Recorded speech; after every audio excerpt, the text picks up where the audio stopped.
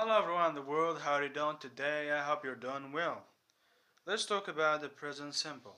What does it consist of? The subject, pronouns.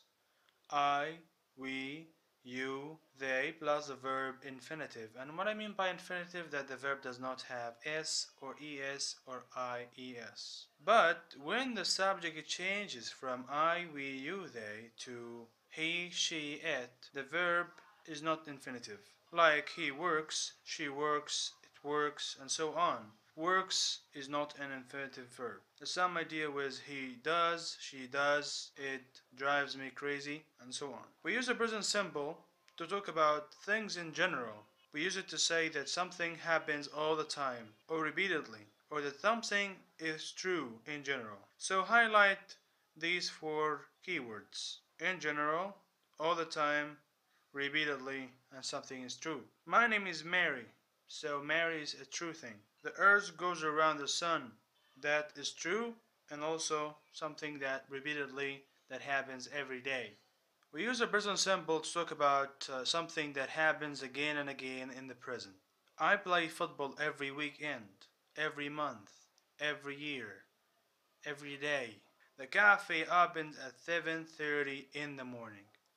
Does that mean that the cafe open every morning, every day at 7:30? Yes, that's right. Something that is fixed in the future. Date, schedule, events, calendar, birthday, your birthday.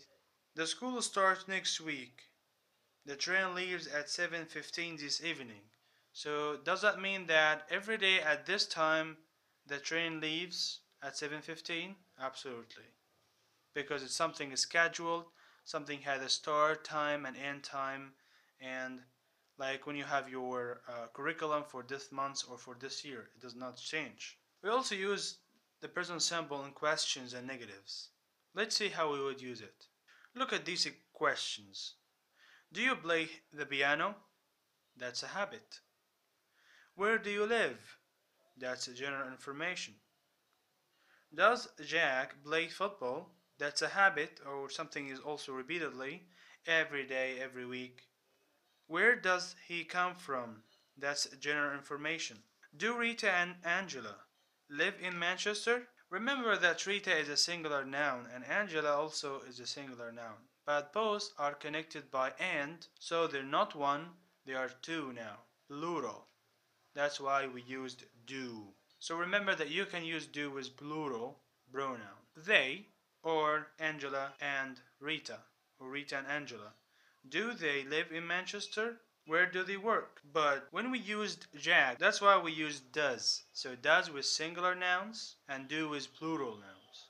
So Jack is one person, that's a singular.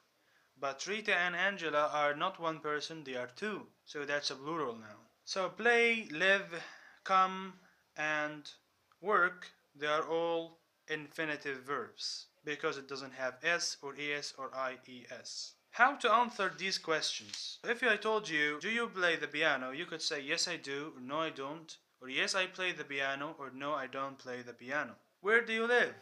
I live in the United States. I live in Egypt. Does Jack play the piano? Yes he does, no he doesn't because actually Jack is a man. So in the pronoun we use it, we, we say he. But if the noun was female, then the pronoun also will follow it. So it will be she. So if I told you, does Angela play the piano or play football? So you would say yes, she does, or no, she doesn't, because An Angela is female noun. Look at these sentences.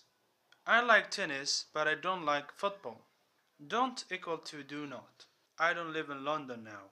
I don't play the piano, but I play the guitar. They don't work at the weekend. So that's something that usual, that happen, happen all every weekend. John doesn't live in Manchester.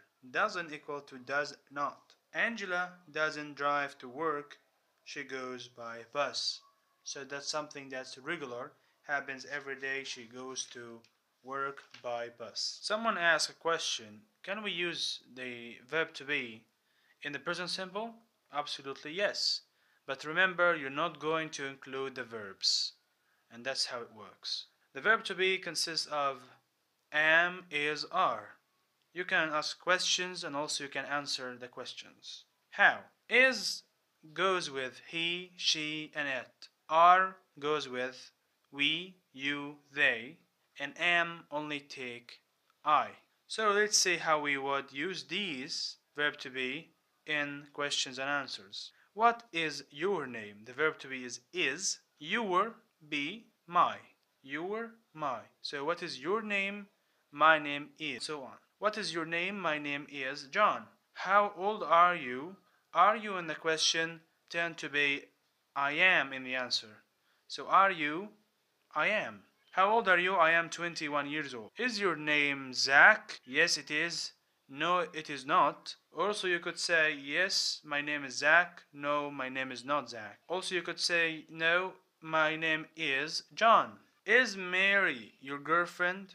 You could also say, is she your girlfriend? But when you ask someone for the first time, you would probably use the actual person name, Mary. Is Mary your girlfriend? Yes, she is. No, she is not. Are you, they, we good people? Yes, we are good people. Yes, they are good people. Or no, we are not good people. No, they are not good people. Remember that you, the pronoun you, can be singular or plural. And how would you know that? From the question itself. If I told you, are you a good person? Person is one singular noun. You here it refers to one singular noun. So in this way you would say, yes, I am. But if I said, are you good people? People are plural noun. So you here in this way refer to plural noun. So are you good people?